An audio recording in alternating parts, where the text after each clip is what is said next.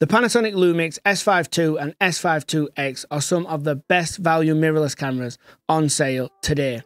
And Lumix just gave us an update that's made them even better. The best thing is it is totally free. So in this video, we're going to find out, is the AF actually improved? Can the IBIS even get any better? And is the proxy workflow even worth it? What does this firmware upgrade offer? Well, if we head over to Lumix's website, we can basically break it down into three main upgrades. But before I go any further, I'm going to take this moment to mention that my knowledge on photography isn't great. I've been capturing video for around 15 years, so I prefer to stick to what I know. For this video, I'll just be focusing on the video side of this upgrade. The three main upgrades in Lumix's own words are number one, enhancement of production workflow. This, in plain terms, can be broken down into two features. The first one is proxy recording in camera, and the second one is camera to cloud capture. We will be going over both of those a bit later. Two, real-time auto focus recognition. Simply put, this just means lots of new additions and tweaks to the autofocus system inside the Panasonic. Number three, enhanced EIS performance. This basically is just a new, more powerful image stabilization mode. And you best believe we're going to be testing and comparing that. Right, so if you are new to the channel, I have tons of S5 II videos from best lenses to best autofocus settings and even more on the way. So make sure to subscribe not to miss those upcoming videos and let's get into these new features. It's worth mentioning that this firmware update is going to be available from Lumix's website on the 22nd of April. Lumix was kind enough to send me an early beta version of this firmware to create this video and do some testing. So that being said, there may be some slight tweaks before the final version goes up for download. I've not noticed any glitches or bugs throughout my entire testing, so to me it seems pretty solid. So let's start off by taking a look at the new proxy recording feature. This is probably more important than you are initially thinking. Unless you have the S5 IIX, then the best recording formats that you can capture inside of the S5 II capture in a format called H265. So for anybody who does not know what H265 is, it is a form of compression. Now this is fantastic as it's the latest and greatest and it helps bring those big file sizes down so you can fit more on your hard drives and SD cards. The major downside to H265 is if you're on an older computer or Mac, then you are probably going to have a pretty bad time when it comes to editing. With the option to capture proxies inside the camera, no matter how old your computer is, you're going to have a fantastic time in editing. And after you have finished your edit, just at the very last moment, you can swap back to those H265 files to render out the highest quality possible. The only real downside I can see to creating these proxies in camera is at the moment the only option is to capture to the second SD card meaning at all times you need two SD cards in the camera. So what are these proxies like to edit and how do they compare to the original footage out of the S5 II? The first thing you want to do is drag your camera originals into your editing software. Here I'm using DaVinci Resolve. The next step is to select the clips inside your bin and press Relink Proxy Media. We then need to show DaVinci Resolve where those proxy files we captured to the second SD card are. They have a little proxy name on the folder. Now you're up and running. Here in DaVinci Resolve, you just use the proxy toggle to the right of the viewer to swap between the originals and the proxies.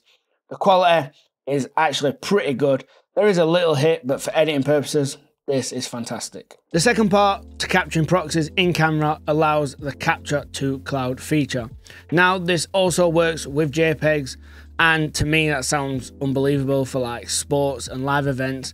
But for my testing in this, I'm only going to be testing out the proxy videos. So to get this feature up and running, jump over to Frame.io's website and create a new project. The setting we need to enable here is the C2C connections. Once you've got this setting turned on, just go ahead and create your project.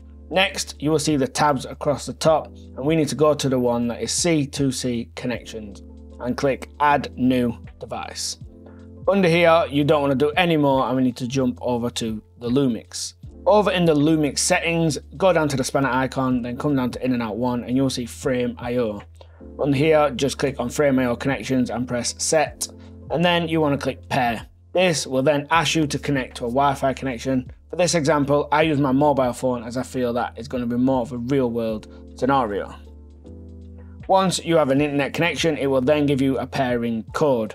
You take this code back to the Frame Frame.io website and just enter it like so, and just like that, you are then up and running. You can now see that the Frame Frame.io project is empty. Going back over to the Lumix, you will see this screen here. And the last setting you need to make sure that is turned on is proxy recording. Choose the flavour you would like between low, medium and high. For this example I chose medium and just make sure it's turned on. But next we just press record on our camera.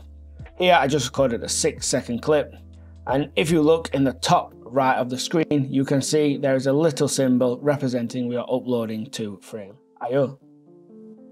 If we just wait a couple seconds, you'll then see that it picks up, the file is uploading. You then jump into the folder, you can see the upload has finished, it is generating a thumbnail, and we are good to watch the clip, scrub through the clip, or even download the clip, do whatever we would like. Let's get into IBIS. So for anybody who doesn't know how that works in the S5 II, there is basically three different modes. The first one is just IBIS. This is just the physical sensor being moved on that little gimbal-like device inside of the camera. And the second mode is called E-stabilization. Now what this does, it is uses software the same way you would in Premiere or Resolve to stabilize the footage on top of the already physically moving sensor. The third and final mode is called Boost IS. Now this is sometimes referred to as tripod mode as it should only ever be used when you are not panning or tilting or moving the camera in any ways. So where is the new IBIS mode? Well, it is inside E-stabilization. This was the second mode we just talked about. The way to think about this is off and standard are just the same as before, but we now have the new high setting. The downside to using E-stabilization, and this was the same before the update, is when you turn it on, you get a slight crop into your image. I believe it is like a 0.1 crop, nothing crazy, but you just lose the edges of your frame. Now, when you go into the new high mode, you have a much bigger crop. My guess would be you're punching into around Super 35 or APS-C size format. You'll be happy to know that this is probably the best image stabilization I have ever seen, period. I'm not saying I've used every image stabilization out there, there may be better ones, but for me, and what I've used between my Sony cameras, my Lumix cameras, my gyro stabilization, this beats everything. There's a few times I've used this mode where I've actually thought, I don't think many people could tell that was not shot on a gimbal. If you look at the shot here on screen now, this is done with me just hand-helding the camera. No handles or rigging, just the stabilization that is being done in camera. And as you can tell, the results are pretty incredible. Finally, another benefit I have found with this new stabilization mode. I've not seen anyone else talk about this, so it's very untested. You're best off doing your own test before you take my word for it. But it pretty much removes all signs of rolling shutter. There is quite a big delay in the footage if you wave it this fast as there is so much internal processing going on inside the camera. But when you do watch the footage back, this looks like a really, really good low millisecond rolling shutter camera. As I mentioned before, the new IBIS mode takes us into a super 35mm crop. This means that when we are recording in 6K OpenGate with this new IBIS mode enabled, we are now capturing super 35mm OpenGate. This is actually really good because it now allows us to use all those super 35mm lenses. A great example of this is I'm currently testing the new Laowa Ranger Cinema Zoom, but the ones designed for super 35mm cameras. And that zoom lens paired with this new mode works incredibly well. Me personally, I'm super impressed with this new IBIS mode. I never seen anybody online in any comments asking for better IBIS from Lumix cameras, and Lumix have provided us with something we did not know we even wanted. And unless you want a super wide angle shot, then I don't see many downsides to using this mode when it's needed. Next up, I'm going to dive into the brand new AF features that came along with this update. But right before I do that, I just want to tell you if you own an S5 II or S5 IIX and want to get the best possible video out of your camera, then I have the perfect guide just for you. In this guide I've created, I go into every single aspect when it comes to capturing and creating amazing video with the S5 Mark II. There is over three hours of content that I've broken down into different chapters and sections so you can find whatever individual aspect you need. Whether that's autofocus, IBIS, capturing raw, color grading, rigging, setting up accessories, you name it, it will be somewhere inside this guide. And by purchasing this guide, you will automatically become a member of our S5 II community. I am personally in there and there is other like-minded owners that can help you answer any problems and issues you may have. And for a final bonus, I'm currently working on a bonus section that I'm going to add deep diving and working out how to get the best possible out of these new features with this brand new firmware update. If you want to find out more about what's inside the guide, the link is going to be in the description. Now, let's get into the new AF features. So let's go through them one by one, starting off with Animal. I'm not 100% sure how this mode works and if there's like a list or of animals inside it. I've only been in and around my local area and we definitely don't have any kind of exotic wild animals around here but this AF feature definitely works beyond say cats and dogs. It detects like birds and squirrels, all different shapes and sizes, and it even does a really good job of finding their eye. And that obviously means we get two options inside the animal detection. There is body or eye and body. For me, I would pretty much always leave this on eye and body as I guess if you are trying to capture an animal, more than likely you want its eye to be in focus. Moving on to car and motorbike, and I'm to talk about these two together.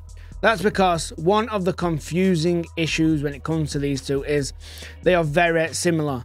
Sometimes when you are in motorbike, it can pick up a car, and sometimes when you are in car, it will pick up a motorbike. Also, when you're in car, it may pick up trains. Looking at the footage here of this lawnmower, and when in car it picked it up absolutely perfect doing an amazing job when moving over to motorbike it still detected it and picked it up and it did a relatively good job. It just did a way better job when selected in car. My advice for this mode is as vehicles tend to change from country to country area to area is just test it out. Overall it works brilliant. And I think after you've tested it a couple times with your kind of local vehicles, you would be able to know which mode would work Perfect. Moving on to what is probably going to be the most used AF mode in this camera, and that is capturing people. So let's get on to the good stuff. What has changed about the AF in this camera? Well, overall, there is just improvements everywhere. This camera now just has better autofocus. I have my autofocus pretty in the middle on response and speed. How does it here if we go way underexposed? Exposed that is still picking up my eye. That is pretty incredible.